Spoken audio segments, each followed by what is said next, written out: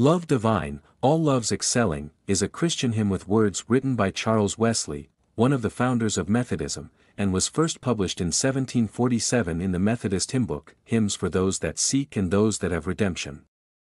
The hymn is typically sung to the tune Blaenwern, composed by Welshman William Penfro Rowlands in 1905. The hymn is considered one of Wesley's finest works and has endured through the centuries as a beloved expression of Christian faith and devotion. Its lyrics beautifully articulate themes of God's love, grace, and transformation, inviting believers to experience the fullness of divine love in their lives. Here is a brief overview of the history of Love Divine.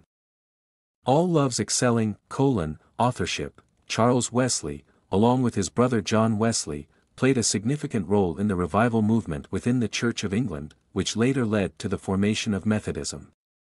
Charles Wesley was a prolific hymn writer, composing thousands of hymns during his lifetime. Love Divine, All Loves Excelling stands as one of his most enduring contributions to Christian hymnody, publication. The hymn was first published in 1747 in Hymns for Those That Seek and Those That Have Redemption, a collection of hymns compiled by Charles Wesley for use in Methodist meetings and worship services. It quickly gained popularity among Methodist congregations and beyond. Tune the hymn is typically sung to the tune Blaenwern, composed by William Penfro Rowlands, a Welsh composer and organist, in 1905.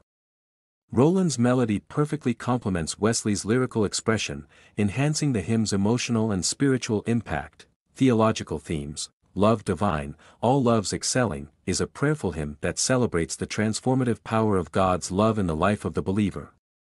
It explores themes of sanctification, holiness, and the desire for intimate communion with God.